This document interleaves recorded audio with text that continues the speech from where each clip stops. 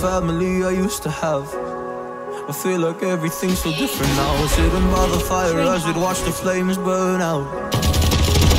Opponent killed. I miss the days I wasn't afraid. Now I always have my guard up, hands on my face. I learned to cope with the pain. I know that people think I'm trying to get attention, but in reality, I'm trying to send a message. I know there's kids out there that are going through the same thing, and if you want of them, I hope to help your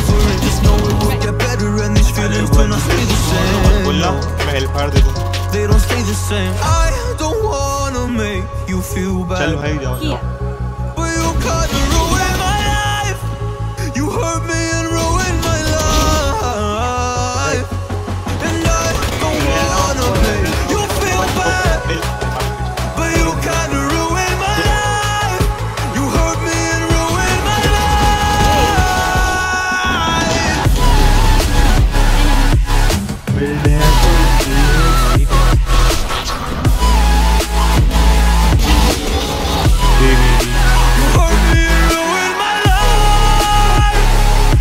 Life.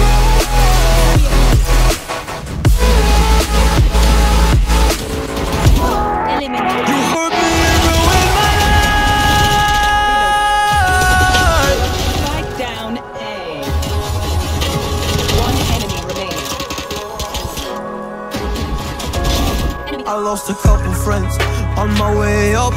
I took a couple L's, but that's just normal talk. I popped a couple pills, but they don't do much. And now I take Prozac in the morning with some other stuff. But why did I get into this? I feel like